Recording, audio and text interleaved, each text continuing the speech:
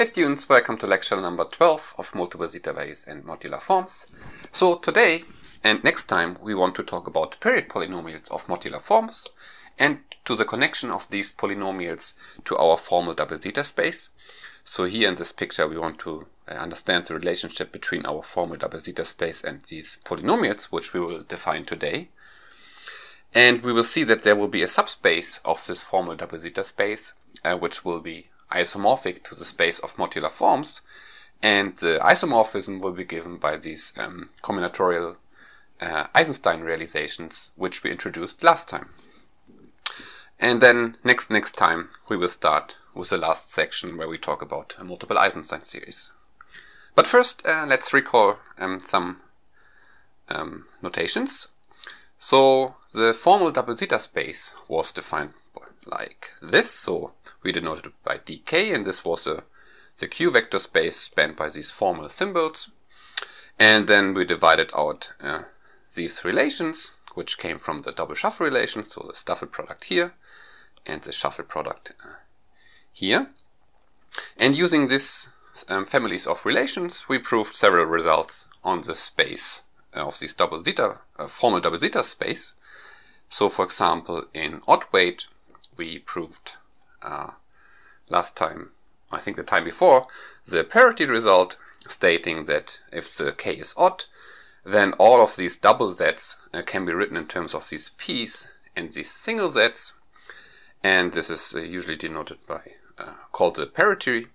So for the if we apply the zeta realization, this means that every double zeta value in odd weight can be written as a polynomial in, in Riemann zeta values. And then we also saw by using this theorem that the dimension in odd weight is given by uh, k plus 1 half, and we can write down two explicit bases uh, for this base. One is given by uh, the single z's and the p's, which is following from the theorem, but we were also able to invert this equation here to get uh, this basis. And then last time we proved a similar result for the even weight case. So there we already knew that we also had this um, family of relations here between these p's and these single z's. So for example, one consequence was that uh, the sum of all these uh, p even even is a multiple of, of this zk. And then we also improved by using this um, this this pairing um, that the in even weight the dimension is k half, and that these z odd odds um, span or are basis of the space dk in odd weight. And in particular, um, this means that double zeta values in even weight uh, can always be written as a linear combination of zeta odd odds, uh, but we saw that there are relations among zeta odd odds uh, for the real multiple zeta values, which is not the case in this formal space here. And today we want to give another explanation um, for these relations among zeta odd odds um, using period polynomials. But first, uh, let's also recall um, what we meant by uh, realizations for all k. So in the first lecture on formal double zetas, um, on the formal double zeta space, we fixed the weight k and then said an homomorphism from dk to some vector space A is called the realization of dk in A. And then last time we extended this notation and now considered a Q algebra A and considered families of realizations. And then we said a family of realization for each weight k is then called the realization of D in some Q algebra A. And for this um, we had two main examples. So one was given by this uh, zeta realization, where the zk, so we will denote it by uh, phi zeta, and for the zk, this map just sends um, this zk to the Riemann zeta value, or the shuffle regularized version, which just means that if k equals 1, um, we, we set this to be 0. And also, um, because the, the formal double zeta space uh, in weight 2 has a special property that 2 equals 0, so, so this equality here just makes sense for k not equal to, and if k equals 2, then the image of phi of z2 is just 0, and the, the image of this double zk is just the double zeta value, or the shuffle regularized version, and this p gets mapped to the products of these single zeta values. And then we had this um, combinatorial Eisenstein realization, which in the depth 1 object gets mapped to the Eisenstein series, GK, and the depth 2 object gets sent to this uh, combinatorial double Eisenstein series, which we introduced last time as a linear combination of these Q series small g and these rational numbers uh, beta. So we gave an explicit formula for, for this Q series here. So maybe one should say that in this case here, this, oh, in this case, the A is the real numbers, the, uh, we could also say it's uh, the space of multiple zeta values, which is inside the, the real numbers. And in this case here, the Q algebra we consider is a the Q algebra of um, Q series with rational coefficients.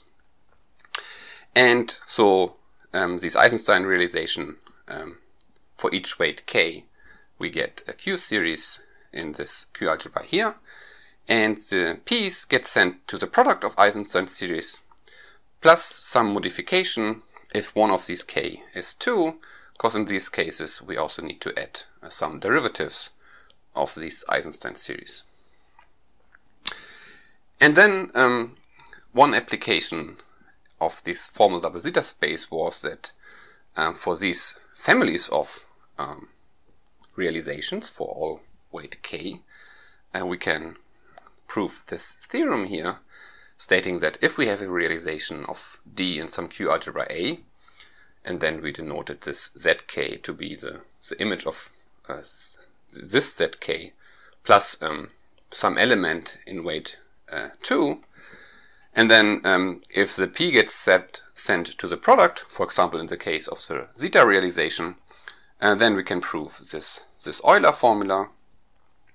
And if the product gets sent to uh, the product of these sets plus some correction term with maybe some derivation here on this Q algebra A, um, then we get these Ramanujan differential equations and also the statement that, that every even that is in this ring here. And if this um, product here, if both of them are greater or equal to 4, if the product is given by exactly the product without um, extra terms here, then we can see that the, the even zk's are in this um, polynomial ring here. And so this first condition here was satisfied by the by the zeta realization. So here this was true for this phi zeta, and the other two things here, um, this was true for this uh, combinatorial Eisenstein realization. So in particular, as a consequence, we see that the even Eisenstein series greater equal to 4 are in this polynomial ring of generated by G4 and G6 and also that they satisfy um, this differential equation. And um, today now we want to uh, introduce the period polynomials and then show, well we will prove it next time but not, but we will um, state the, the, theorem today that a certain subspace of these um, um, of this formal double zeta space which is basically generated by this uh, p even even uh, is isomorphic to the space of modular forms and the isomorphism will be given by, by this map here and we already see that we can prove a lot of relations which are true for modular forms by this theorem we proved last time. Okay, so what are period polynomials? Well, they are polynomials assigned to modular forms, but here um, we need to make a, a restriction. So we now we don't consider all modular forms, we will just consider uh, cusp forms. So let f be a modular form, a cusp form of weight k. So recall this means that f um, can be written as some uh, q series which starts at 1 here. So the constant term in this q series uh, vanishes. And then for such a modular form, for, for a cusp form, we can define this element, this thing here. So this is now p of f, so the period polynomial of this cusp form f, which will be a polynomial in these two variables x and y. And what we do is we take an integral um, from 0 to infinity along the imaginary axis. So let's say this is the complex plane here. And what we do, this integral here, we integrate uh, from 0 to, to i infinity.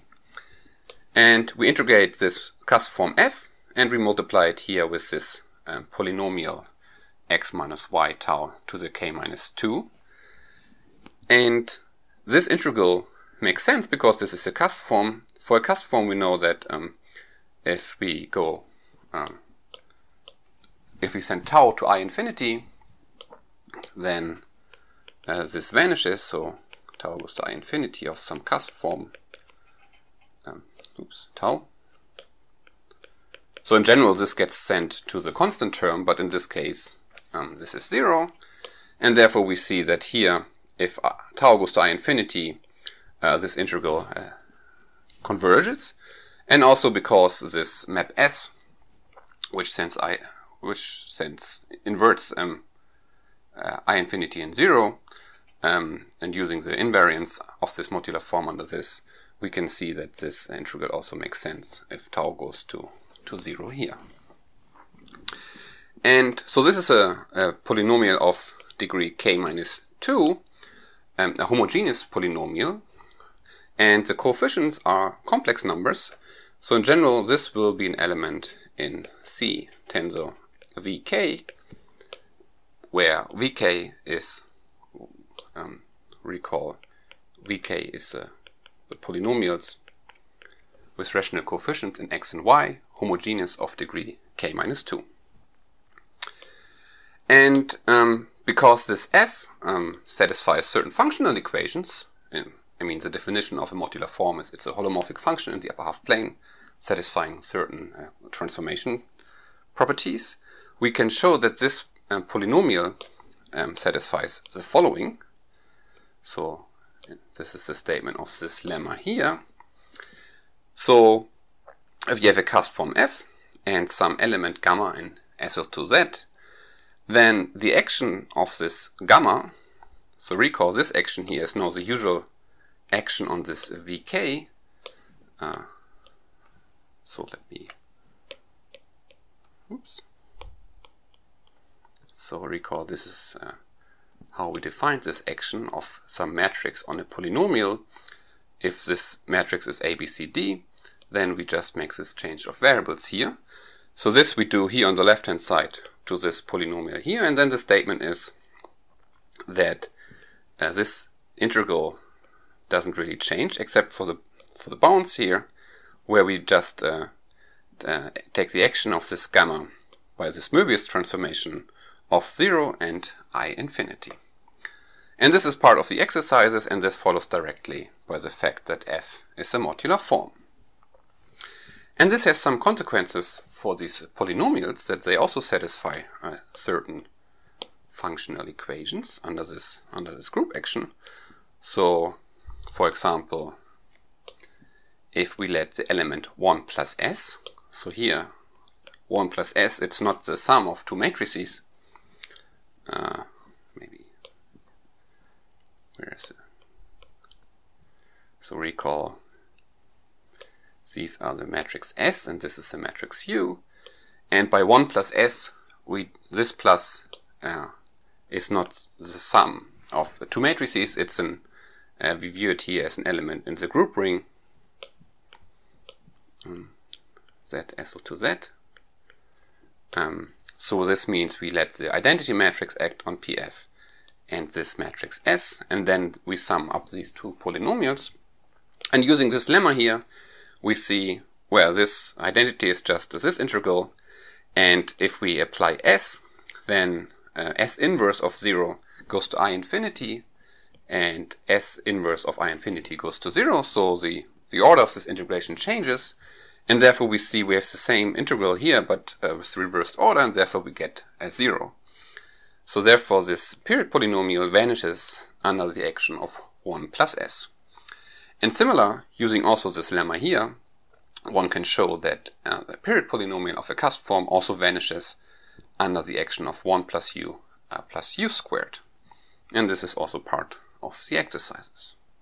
So we see we have these uh, two equations and therefore this motivates us to define now a subspace of this vk which are those polynomials which vanish exactly under these two actions. And this is usually denoted by wk. So wk is the intersection of the kernel of the action of 1 plus s and the action of 1 plus u plus u squared. So in particular, these period polynomials, they are elements in C tensor wk. But it could be that maybe these period polynomials um, satisfy more relations, but as we will see in a second, um, um, this is exactly the only relation satisfied by these period polynomials, and this we will make precise uh, in in in once in a few yeah in a few seconds. But first, um, we want to consider certain subsets uh, of this WK. Um, so uh, for this, recall we had these elements. So let me put this here. So we had this element epsilon, which was given by this.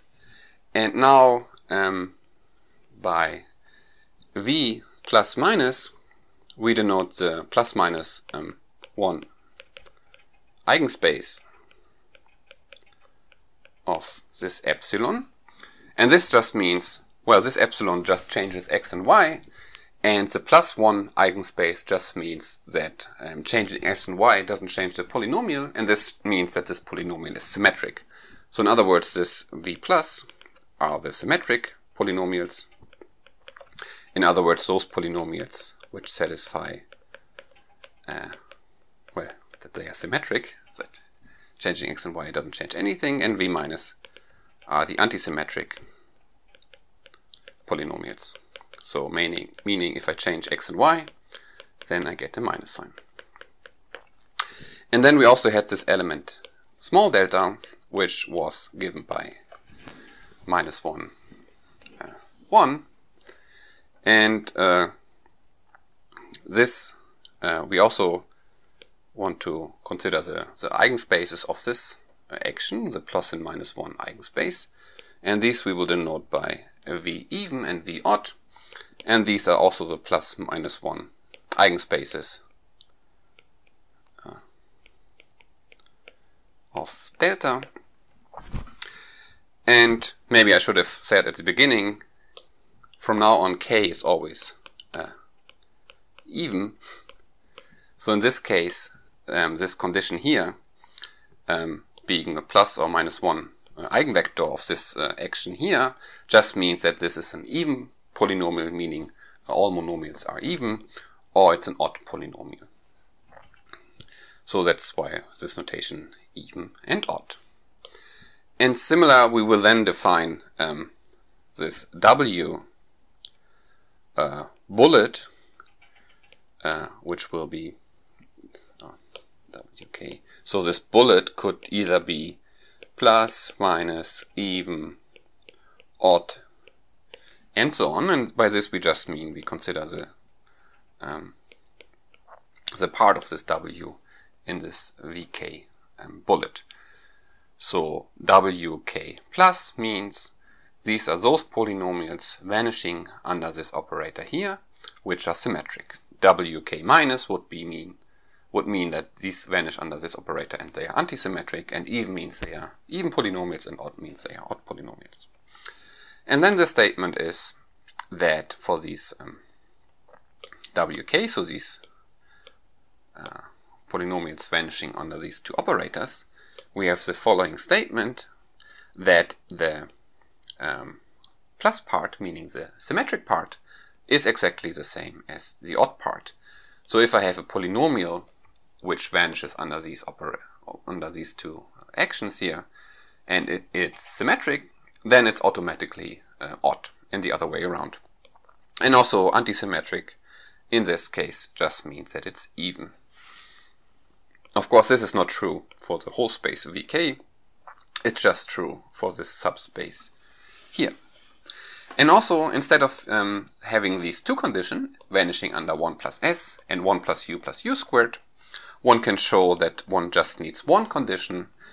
And so the statement is that this wk um, is the kernel of this action 1 minus t minus t prime, where t prime is this matrix here. So in other words, it's just.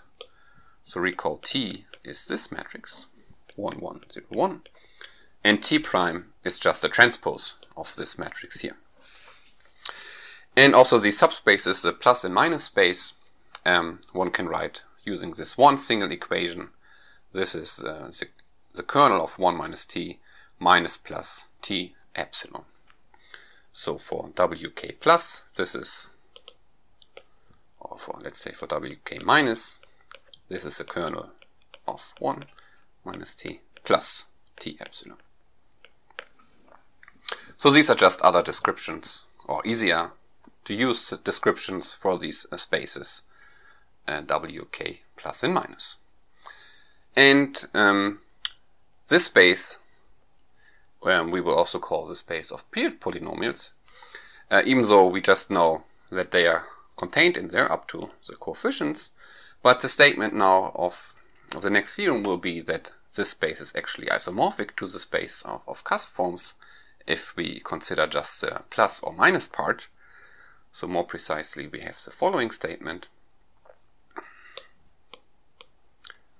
Oops. So this is due to the work of Eichler and Shimura. So, so the map uh, P plus minus, which sends an F to its even, to its uh, symmetric or antisymmetric period polynomial, which just means uh, the even or odd period polynomial because symmetric is odd and uh, antisymmetric is even. This gives an isomorphism from the space. So the, the symmetric um, period polynomials meaning the, the odd period polynomials. This gives an isomorphism from the space of cusp forms um, to the space here of period polynomials. And the antisymmetric part, meaning the even period polynomials, we get an isomorphism from the space of cusp forms um, to this space here with a, a codimension uh, 1, where we divide out this one-dimensional space here. So you can check that that these polynomials, so they are elements in wk minus. So these simple for for all for all k greater equal to four. Well, also for two because it's just a zero polynomial. But um, so these polynomials satisfy um, this. They are inside the kernel of this map here, which you can check by direct calculation. But the statement is you need to divide out um, this one-dimensional space out of this um, space of even period polynomials. But later we will see that there's an extension of this map where we can actually take the space of all modular forms, mk, so later. And then the statement is we will have an isomorphism to C tensor, the whole wk minus and these guys here will be the period polynomials of the Eisenstein series. Because the only difference between MK and SK are Eisenstein series.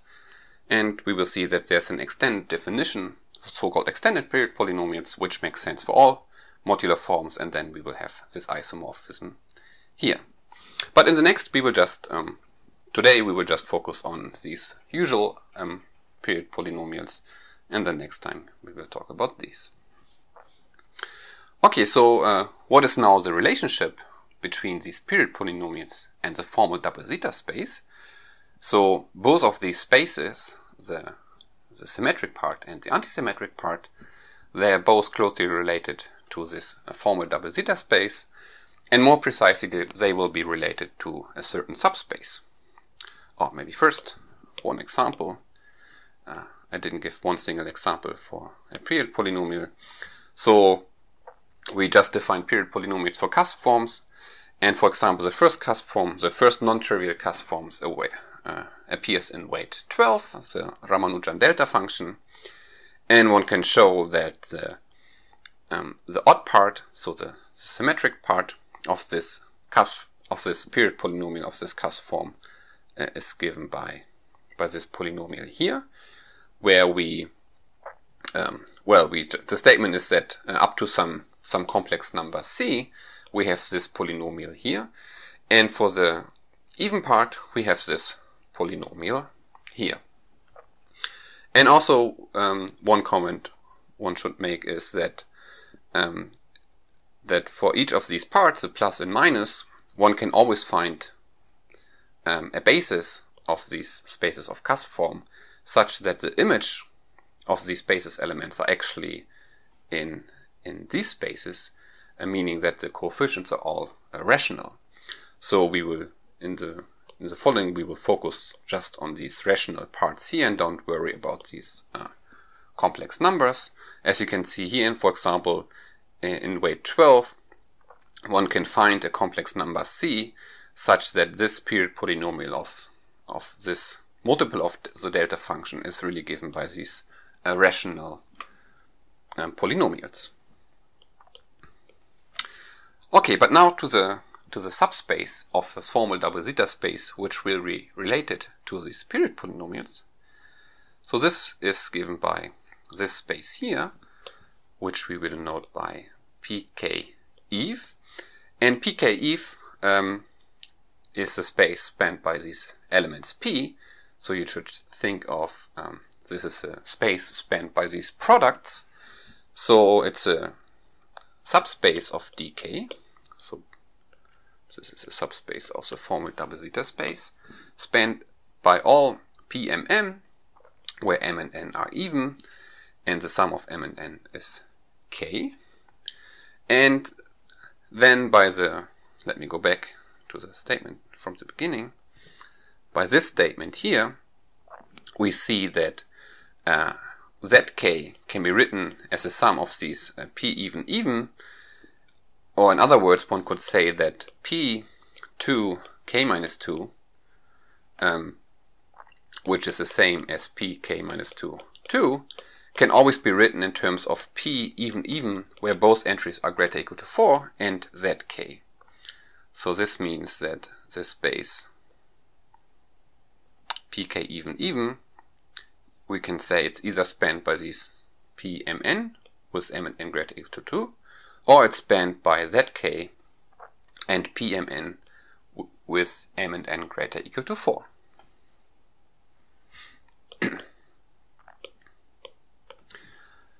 okay, so what is now the connection of this space to this uh, space of period polynomials, this wk plus and minus? And the connection is quite nice. So the statement is that there are two explicit isomorphism. So one is um, from the space of even period polynomials, or the antisymmetric period polynomials, to, to this pk even even. So the statement is that this is an isomorphism, and we can write down this isomorphism explicitly. And for these wk plus, so the odd period polynomials, they are isomorphic to the dual space of pk even. So this here would be the, the dual space, space of pk even, so all homomorphisms from pk even to, to q. But um, there's one restriction, it's not the whole um, mm, dual space, it's a again a codimension 1 subspace, where here we just um, get those homomorphisms such that the image of the zk is 0. And later, when we talk about extended um, period polynomials, we can get rid of this condition here. And here we will have some extended um, version of period polynomials. And so what is the consequence of this? So first of all, because the what is the dimension of wk minus? Um, well, in the theorem of Eichler-Shimura, we saw that the dimension of WK minus um, is so the dimension of this minus 1 would be the dimension of the space of cusp forms. And because the space of cusp forms is the space of the, dim the dimension is the dimension of the space of all modular forms minus 1, therefore the dimension of this space here is exactly this, the dimension of the space of modular forms. And therefore this is also the dimension of pk Eve. So one consequence of this would be that we get an isomorphism from this pk Eve to the space of modular forms with rational coefficients given by this uh, combinatorial Eisenstein realization.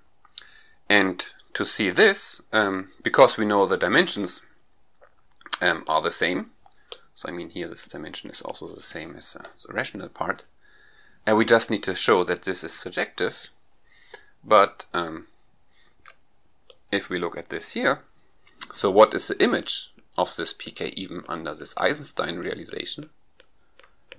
Well, this is exactly the space spanned by gk plus, and then we know that the, the image of this Pmn, if m and n is greater equal to 4, of this Eisenstein realization is exactly the product Gmn.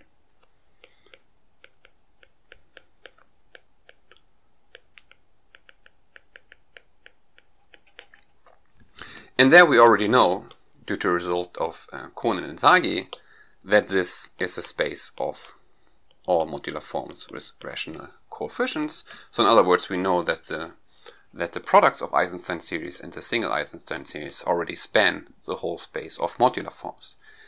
And therefore this map here is surjective and because of this it's the same dimension and therefore this gives an isomorphism. So these combinatorial Eisenstein series are so they give a direct connection of this subspace of the formal double zeta space to the space of modular forms. And, um, and therefore, uh, every relation among modular forms can somehow be proven in this um, setup here, in this formal double zeta space. And one example we already, or a lot of examples we, we saw before by this theorem, where we proved these um, uh, relations here where is it? Here, for example, that uh, any modular form is a, is a polynomial in G4 and G6. Okay, so, oh yeah. So now, um, in the rest of this video, I just want to make uh, these two statements more precise, because I said there are two explicit isomorphisms. So starting with the period polynomial in this space, we can write down an explicit element here, and starting with an odd period polynomial here, we can write down an explicit element in the dual space of pk even. And then next time we will prove these two theorems. So let's start um, with the even period polynomials. And for this, so let's start with an even period polynomial p. And then we can make this change of variables. So we can so this we could also write as this is a period polynomial P where we let this matrix T act. This is again a polynomial which we can write out and then um, we could give these coefficients a name which I will call here beta of this period polynomial P k1, k2 so these are the coefficients of x to the k1 minus 1 and y to the k2 minus 1 so for each period polynomial p, we get a collection of rational numbers by a really explicit way here. And then the statement is that uh, the map which sends a period polynomial p to a linear combination of these z odd odds where the coefficients are exactly given by these betas the statement is that this is an isomorphism of Q vector spaces. And this um, proves, so this gives this isomorphism here.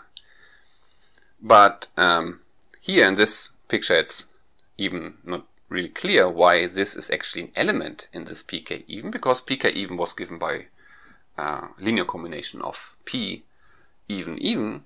And here we now send this to a linear combination of z odd odds. So the second part of this theorem states that uh, that the image here can be written explicitly in terms of p even even. And the nice thing is that this image here so this can be written explicitly as 1 over 6 times this linear combination here of p even even, where the coefficients are also coming from this period polynomial here. But now, instead of taking the odd parts, we take the even parts. And this is true up to some um, multiple of zk, which can also be written down explicitly, as we will see in the, in the proof next time. But um, in particular with this, um, we see that this map is actually uh, well defined, meaning that the image is actually an element here. And yes, so, and this gives a really nice um, relation among these uh, period polynomials and these elements in pk even. So now let's uh, give some applications of this. I mean, we have these two um, realizations. So the zeta realization we could apply now here. And the statement is that if we start with some period polynomial p, then we have the following relation um, among zeta values, namely that if we take these coefficients coming out of this period polynomial, this gives us a relation among zeta odd odd. Because um, uh, if we apply the zeta realization in this equation here, here we have zeta odd odd, and here we have zeta of p even even, but zeta of p even even is just the product of zeta even times zeta even. So in other words, the image of the mm, zeta realization of the space pk even, this is just given by products of even Riemann zeta values, so this is just given by, or this is at least contained in in all. Um, so this is always a rational multiple power of uh, pi. So in this case here, uh, the, we get that this is always given explicitly by this rational multiple power of pi to the k, where k is uh, the weight. And this gives these um, relations in the Broadhurst-Kreimer conjecture, stating that for each um, cusp form, so starting with the cusp form, we can write down the period polynomial, and having the period polynomial, we can write down explicitly a relation of zeta odd odd modulo lower depths, because um, these powers of pi are given by single zeta values. And we can also apply the, the Eisenstein realization, and then the statement is, instead of having a rational multiple power of pi, we get a modular form. So this uh, explicit uh, linear combination of g odd odd, where these coefficients are coming from this period polynomial, gives a modular form. But this we already also saw in in a different way last time that um, that there's a basis of the space of cusp forms given by these um, double combinatorial double Eisenstein series G odd odd. So this gives the the even period polynomial part of this story here. And now we want to say how this odd period polynomial part looks like. So starting with some odd period polynomial, we want to construct uh, a realization of this um, pk even even. So, and this is, the statement is the following. So, the map is given as follows. So starting with an odd period polynomial. So this is a, some polynomial um, where we have an odd polynomial, and because of this shift here, uh, these coefficients here are for uh, k1 and k2 even. So this gives some rational numbers, and the homomorphism we define is given by this, where we send a pk1, k2 exactly to these coefficients. So in other words, if I start with a period polynomial, then this gives me rational numbers here, which satisfy the relations of this pk1, k2 in this um, in this pk even even. So they are they somehow give a realization of this um, subspace of dk. And next time we will see when we extend this um, these period polynomials that there's always a way to to start with some element in in the odd period polynomials where we need to take the extended version and this always gives us a realization of dk in Q. Or more general, if we if we have relation uh, if we have a polynomial where the coefficients are in some some Q vector space, such that these polynomials satisfy the relations um, which are given by the definition of this space here, then we get a realization of this formal double zeta space in this Q vector space A.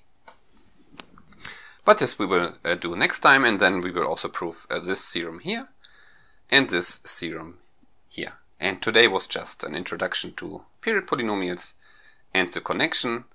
Um, so this picture here is, is, quite nice. So the, the even part gives um, an isomorphism to the space, to the subspace of dk, and then we know that this subspace is isomorphic to the space of modular forms. And also the odd part gives us some realizations.